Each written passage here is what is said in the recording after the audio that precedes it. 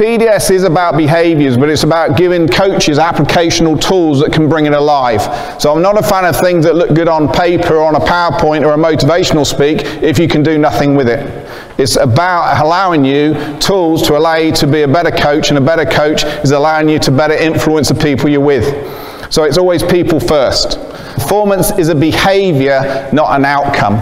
And what I mean by that is everything that we do stems from behavior. Behaviors are the facilitation of results. But for me to drive them, who needs to understand what they look like?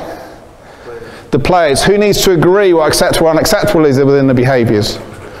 Who needs to manage it live on the pitch?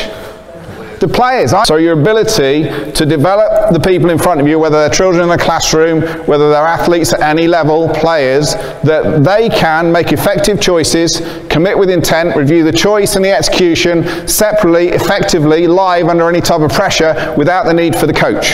Who has to be excellence in a coaching session? We've talked about the players, but where's the missing link right now? The coach.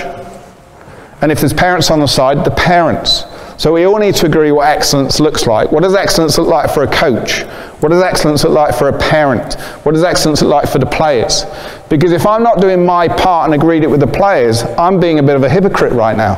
So I have an expectation of players, you're this and that, and there's me emotionally going up and down. I'm frustrated with something, I'm getting angry, I'm shouting, I'm taking control when I said I want you to. So unless I understand what excellence is, looks like for me, unless I share that with the players and we agree that we can challenge each other, if we are unacceptable based on what we agreed, we're not really developing the type culture environment we want to. My view is coaching is you're an influencer.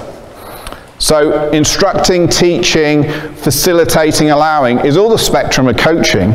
Great coaches know where to be in that moment in time with the aim of making themselves redundant. We need to be open as coaches to be able to challenge and reflect openly without thinking someone's picking on, on me or putting me under pressure. That's why I'm doing this here today in this, in this manner.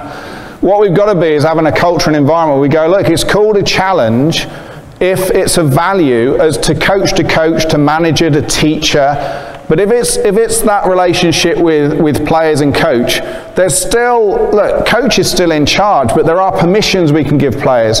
So we need to share with them what's me on a good day? What would be ideal me on a great day?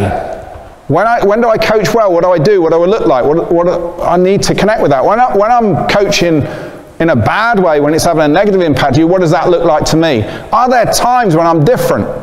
So it might be in training, am I different to game day? Which basketball, very common.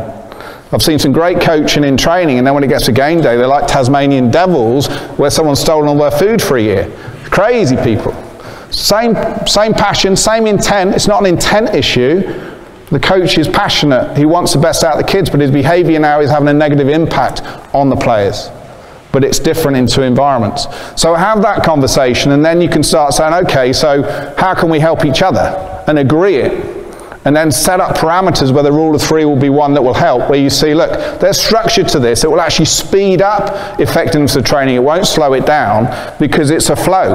But it's a flow based on what we all agree. And I'm part of the journey. I'm not separate to it.